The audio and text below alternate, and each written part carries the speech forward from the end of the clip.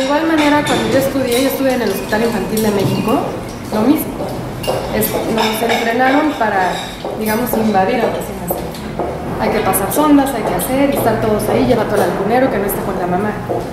Cuando yo egreso y entro a Santa Teresa, donde empieza uno a ver otro enfoque, otro tipo de atención hacia el recién nacido, cuesta trabajo.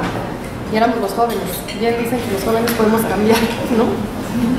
Y evidentemente, entonces todo este proceso, todo este cambio, toda este, esta nueva manera de atender a un recién nacido y a no invadirlo, hacerlo de manera humanizada, Digo, es algo que tenemos que trabajar mucho, aunque yo me dedico al 100% a esto y lo hago así en los hospitales a donde voy. En muchos otros hospitales privados cuesta trabajo. Y bueno, evidentemente todo esto ya hay evidencia, no es nada más algo que queramos hacer porque sí. Así como hay evidencia para la atención humanizada de la madre, para el bebé también.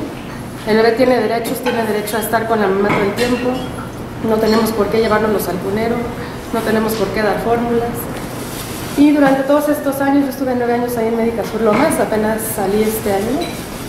Trabajamos con todo esto, todo esto se queda en el hospital, logramos certificar al hospital como hospital amigo del niño y de la niña. ¿Y qué es eso? Alojamiento, este, el apego inmediato, nada de fórmulas. Acá pedimos autorización para dar una fórmula. Claro que cada, o sea, siempre hay una indicación, ¿no?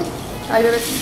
Y bueno, parte de esto les vamos a presentar evidencia ya publicada. Como dijo José Manuel, no todo está publicado en México, pero ya hay mucha evidencia. Y parte de la experiencia durante todo este tiempo que hemos estado ahí en el hospital para que conozcan, pues, bueno, cómo le va a los bebés, a las mamás. y-